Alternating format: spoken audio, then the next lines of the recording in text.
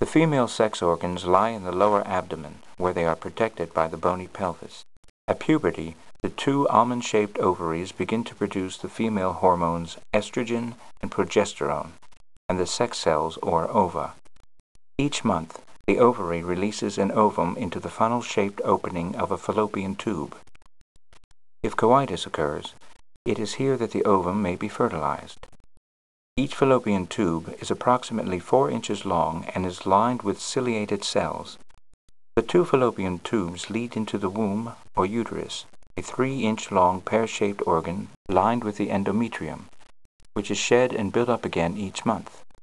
It is in this endometrium that the fertilized egg implants and grows during pregnancy.